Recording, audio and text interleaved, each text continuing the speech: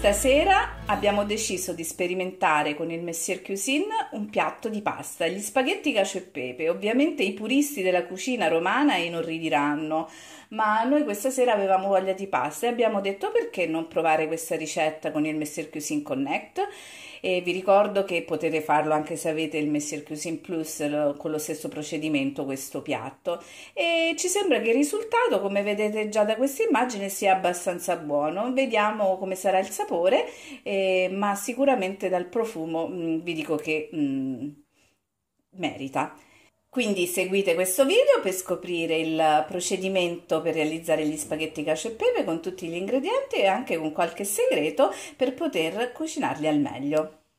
Gli ingredienti che utilizziamo per preparare la cacio e pepe di questa sera sono 180 g di pecorino, 750 ml di acqua, un cucchiaino di olio extravergine di oliva, un cucchiaino di sale, 350 g di pasta spaghetti nella precisione.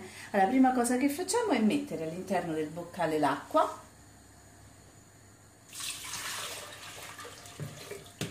l'olio,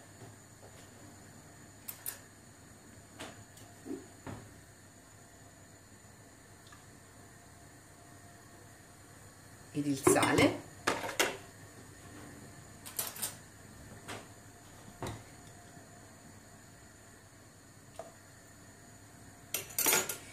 ed andiamo a impostare 10 minuti 100 gradi velocità 1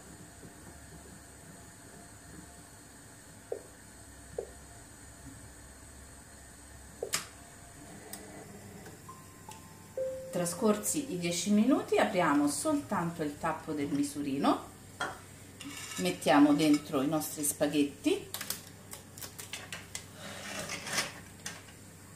e senza rimettere ovviamente il tappo andiamo ad impostare il tempo di cottura della pasta che nel nostro caso sono 13 minuti ma tenete presente che potrebbe volerci qualche minuto in più perché all'inizio a cuocere è soltanto la parte iniziale dello spaghetto la parte che spunta fuori non, non si cuocerà. Quindi può darsi che ci vorrà qualche minuto in più. Intanto impostiamo 13 a velocità 1 100 gradi ovviamente reverse e andiamo a far partire il nostro messier.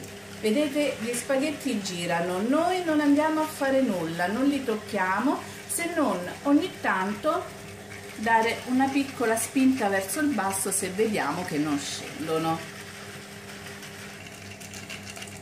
Vedete che già gli spaghetti cominciano a scendere da soli piano piano con il plus non si può fare con il connect invece se volete potete anche premere il tasto pausa spingere leggermente con la mano lo spaghetto e poi riavviare il procedimento. Ma come vedete non ce n'è bisogno stanno tranquillamente andando giù da soli.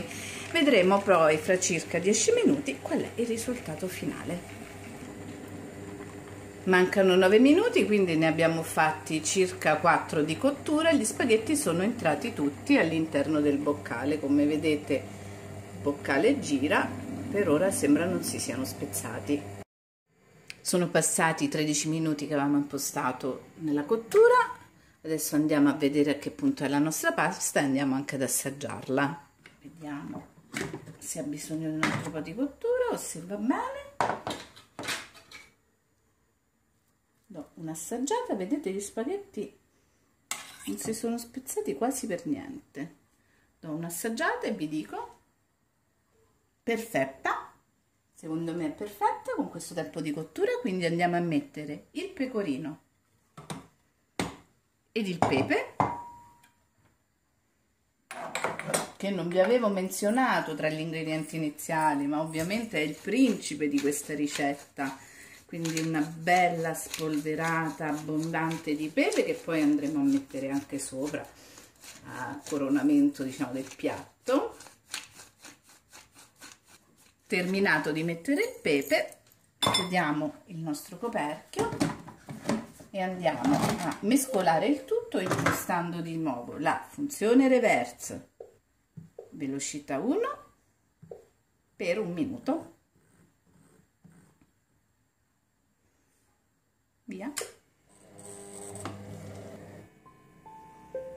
Vediamo se si è amalgamato bene il nostro pecorino. Mi sembra proprio di sì. Andiamo ad impiattare. Ecco impiattato il nostro spaghetto cacio e pepe, vedete è molto molto cremoso e gli spaghetti sono rimasti integri con questa tecnica.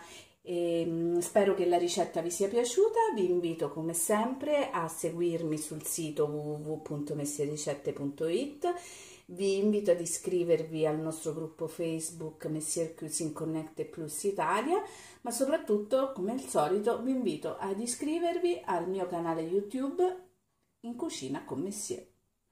E buona spaghettata a tutti!